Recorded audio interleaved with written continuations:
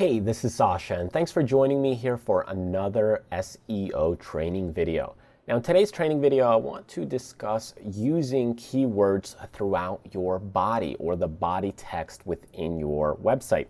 So, if you have a web page and you're using uh, keywords already within your title tags or using keywords within your metadata, that's all great, fine, and dandy.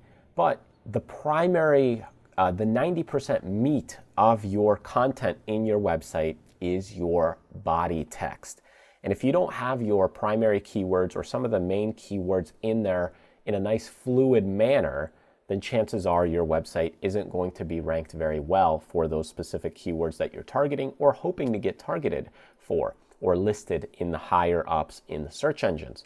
So when you're looking at writing your content and writing your page, more than likely you'll naturally just use those uh, keywords or key phrases anyways throughout your uh, videos, throughout your content, throughout your body text. But if you're not, you should always be focusing in on throwing one or two additional keywords and phrases, even if it's just in the headlines within that body text. Now, the reason for that is because remember, search engines, they're scanning your web page. They're scanning your website for the text. They're scanning your website for what's inside of that. And if you simply, you know, are looking for an email marketing article or an email marketing newsletter or talking about opt-in rates, but you don't mention email marketing at all, you just talk about, well, to increase the open rate, this is what you do to increase, you know, getting those emails or getting those mails opened up and you just don't use email marketing, you probably won't get ranked for email or email marketing. So let me share with you an example at how I look at these uh, and break apart one or two of the posts that I've done. So here's an example post right here, and this is how to create a powerful email lead magnet to build your list. Okay, so our key focus, let's just say, is email. So what you can do is naturally, as I create the videos, these get transcribed. And since the things that I'm talking about anyway, I typically will mention those keywords as I'm speaking. So they would normally be in here anyways. But if you're writing articles and posts, you want to be sure that you use your keywords and phrases throughout the body of the text. Because if you don't, then it's not as relevant or important to the search engines, thinking that maybe this article is not as important for that keyword. Now, the percentage or the relevancy or the amount of keywords that you use throughout the body is something that's constantly changing. They're constantly adjusting their algorithms, so I don't recommend you try to game or play the system. For example, if I'm looking at this um, article or post right here from my website, you know, if I just simply wrote the words email marketing, email marketing, email marketing 5,000 times, it probably wouldn't do me a service because it's just spamming the search engines. They know that and they would probably punish my website. However, if I use it in a fluid manner, talking about email marketing, newsletter lists, building a business, then they would probably rank me for those keywords and terms.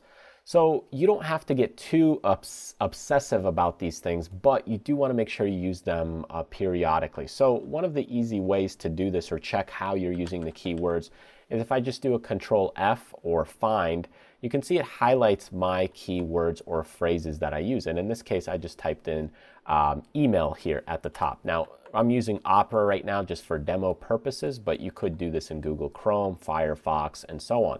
And as you scan through, you can see the density that I'm using for when I type in the word email. And you can see I've even used it in these headings right here or headlines. These are the titles, which is also important. So as you continue to look at these things, you'll see the yellow highlighted areas where I'm using the word email.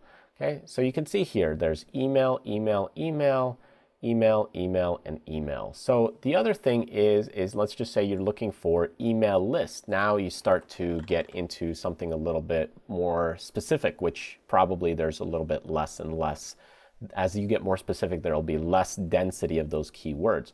So you can see, even though there it's a two word phrase, I've still used email list in just a handful of times throughout this post or body. And you can see they are there, but you know they're not everywhere. Okay, so they are there a handful of times. So now let's look at email addresses. Okay, or address. Okay, so here again, as I start looking through this, email address, email address, there's email address. Okay, so you can see I've used that word as well a handful of times. So all these things, you know, you constantly keep looking for the density and just make sure it has some in there. The amount of density is going to always change, so don't be too obsessed about it. Don't try and just stuff more keywords in there.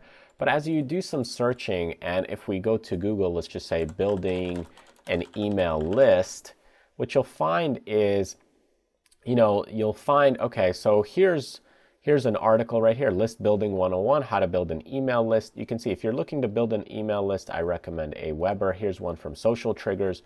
So building an email list. So you can see right there, the keyword is being used a handful of times. So it's used twice right here throughout this post. It's not a long post, but it is used right there. The site is ranked very well for that keyword or term. The other one is here's, uh, let's see, VerticalResponse, okay? Uh, build an email. See, they don't even have the full, if I type it in, they don't have the full word together. You know, build an email list. The phrase is not fully together. But if I search for build, there's build, there's your email list, build your email list, build your email list. So build your email list is the main one that they're targeting. So you can see they used it a few times at the top, but not much there. Maybe once down here, the uh, near the freebies. Okay, how about just email list? So now I can see just email list. And you can see they did use that as well a handful of times. So it's really all just about putting in the keywords, but making things flow. Because in the end, remember, it's not just about writing or targeting things for the robots. It's ultimately about writing for humans, but also with robots, search engines, and crawlers in mind, because this is how they get your website ranked.